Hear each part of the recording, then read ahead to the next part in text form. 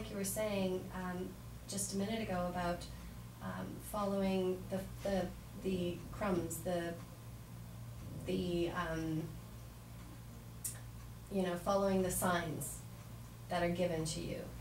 When you live a life where you're just going from one clue to the next, and really you're connected, and that's where you're connected to source, or you can call it God, or you can call it the universe, or you can call it your own personal um, knowing. When you're really connected to that, and you, you know, you the power of attraction, the law of attraction, you put something out there, you have a, a you have a, a request, or you, you, you know what you intuitively want, and then it appears, you've got to jump on that. You've got to take it. And you have to trust that that's for you. And I think a lot of people don't um, feel worthy. They think, oh gosh. And they pass up all of these opportunities. Yeah. But when you are really, um, when you really love yourself, you want to give your, yourself the best. And it's easy to, to want it all for everyone else, and that's how I used to live my life. But in the last couple of years, I finally, I finally woken up and said, I deserve, I deserve what I want, and um, and it's okay. That doesn't make me a selfish person. Into we are all selfish, but that's what we're supposed to be. Because when you are loving and giving to yourself, then you are going to be a better person for the people that you are helping.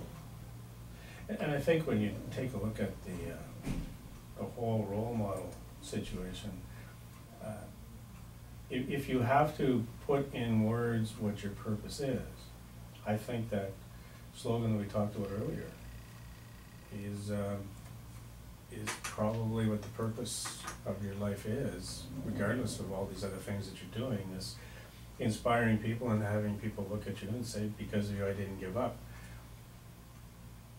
If, if you go through and, and you kind of accept all the opportunities come up, and if someone says, how would you like to, to climb this other mountain, and you say, you know what, that's an opportunity, sure, let's do it. Mm. Then it's, it's, is, is there any purpose to climbing that mountain other than, no, it's there, and it's an opportunity, and I may regret not doing it. Mm later on, so I, I don't want to regret not doing things. Yeah. And, and if doing it, doing that inspires other people, then one of the, one of your responsibilities is to share your stories. Because if you don't share your stories, you're not going to be able to inspire anybody. And that's what I've really struggled with. You know, I, I, um, I stopped I stopped public speaking in around 2002, and I because I felt, I mean, most of my public speaking was about surviving cancer. And it had been 20 years. And um, I, I felt like I wasn't, I should stop sharing my story and just get over it. Because there were people in my life who told me just that. You know, oh, you know, they'd roll their eyes and go, God, when are you just going to get over that? And I wasn't playing the victim, um, but that's how I felt people, it came across. You know, oh, poor Tracy, just get over it. And so I did. I stopped talking about it. And when I moved to New Zealand, I, um, I had contacted a few uh, organizations and, and offered my services as a public speaker voluntarily. And they didn't really, they weren't that interested. So I saw that as a sign to just, maybe it is time for me to stop sharing my story. But the more now that I'm sort of back on on the speaking circuit, um, it has made me. I needed the break. I needed that break to um, to figure out who I am, at, not as Tracy, the cancer survivor, but as Tracy, the humanitarian, Tracy, the philanthropist, Tracy, the entrepreneur, and I and it has strengthened me um, and made me see that I am actually way more than just a cancer survivor. I have this ability to manifest good things in my life, and so that is now a bigger part of my story than just Tracy Pepper, cancer survivor. Yeah, and, and this whole thing about because of you I didn't give up, just think of what the world is like today. Uh, I mean, we're, we're facing so many challenges in our, our, our youth, uh, whether you're young, or whether you're old, I mean, the tendency is, it, it's overwhelming, the, the odds are overwhelming. Um, the, the fast pace, the disconnect we have with people. Um, I, I, I know it's only recently people have, you know, you know, asked me what I do for a living and, or what I do, and, I say, well, I don't know. Uh, I just recently became a licensed mortgage agent. I'm thinking, I'm sixty-four years old and I'm starting another career with my son's business. And I'm running for council. Um, and I have a, a marketing business. Uh, Like, so it's like, what do I do? I, I don't know what I wanna do, but, but everything that I do, and I, and I look back, everything that I've done has helped other people achieve their goals. And so I thought, okay, I'll look at this. If your purpose is to inspire people so they don't give up, Mm. if my purpose is to help other people achieve their goals, and that's what my purpose is, whether it's being a counselor, whether it's being a mortgage agent, whether it's being a, um, you know, a marketing consultant.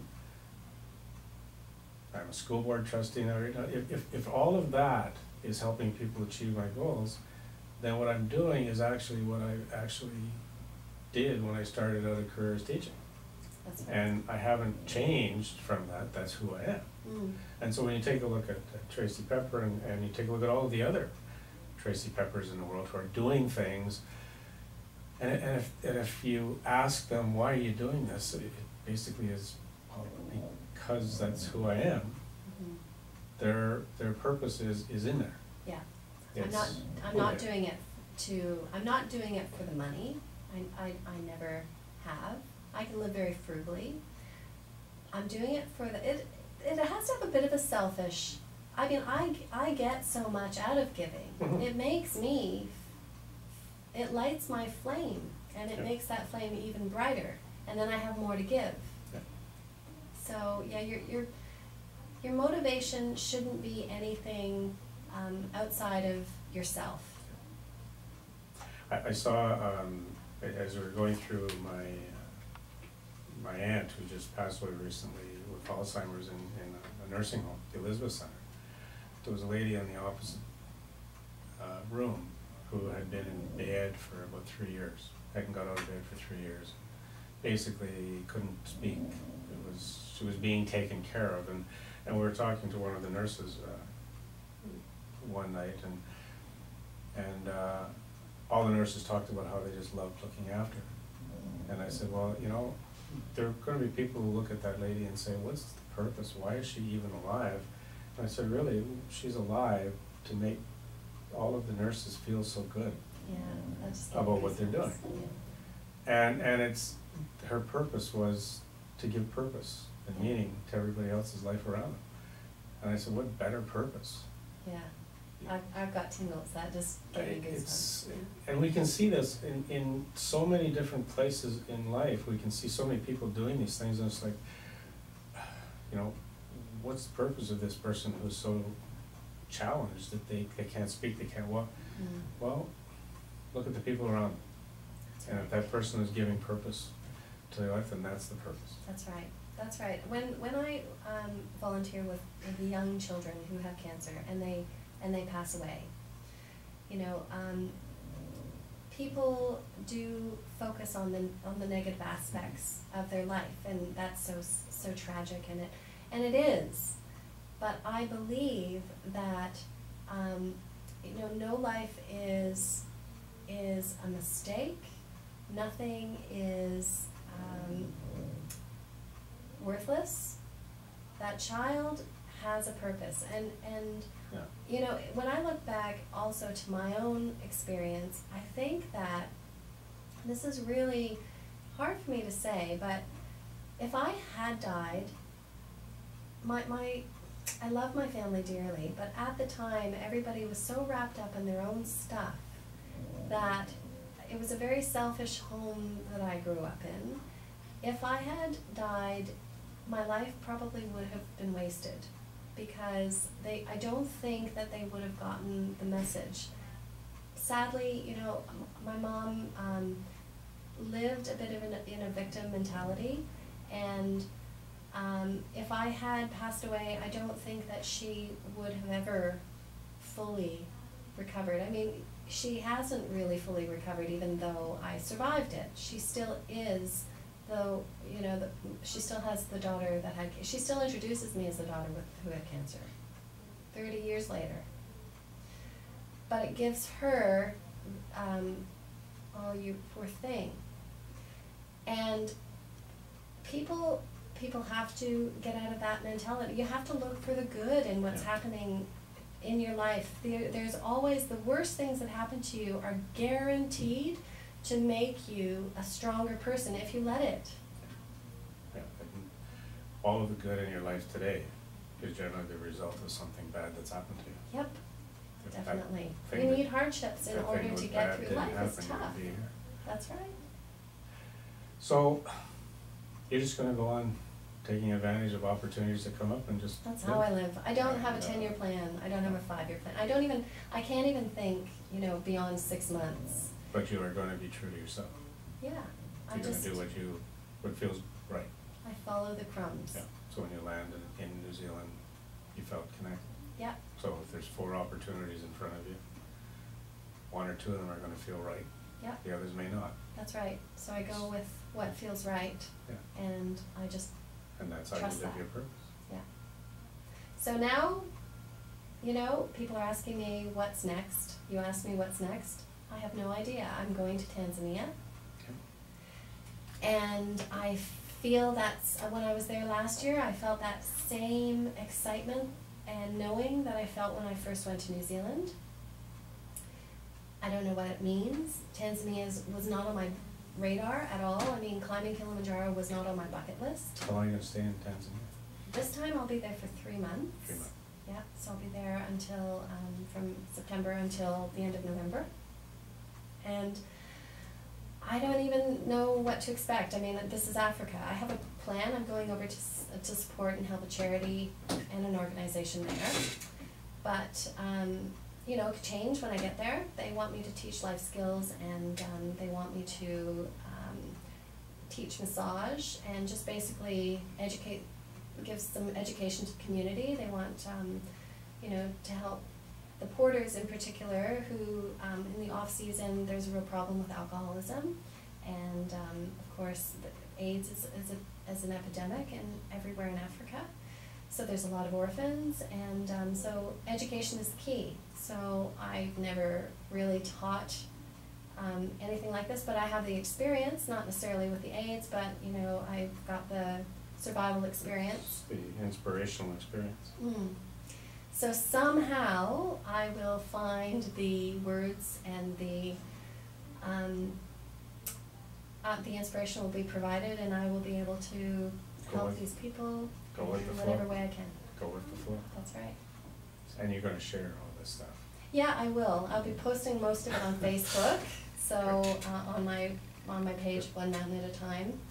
Um, and I am writing a blog, but I'm a bit behind in the blog because I've been so busy. But my purpose is, I mean, my plan is to write a book. And I really thought that climbing Kilimanjaro last year would be the perfect ending to the book, but it's just, it maybe is, is the ending of a, of a, of a, ch- a big chapter. I don't think there is an ending. I know, I think I just need to keep writing small Yeah, books and no just way. keep putting them out there. The- the- So I've gotta find the time to do that. The book is just continuous. Tracy, it's been great. I'm, really glad you were able to, uh, stop in.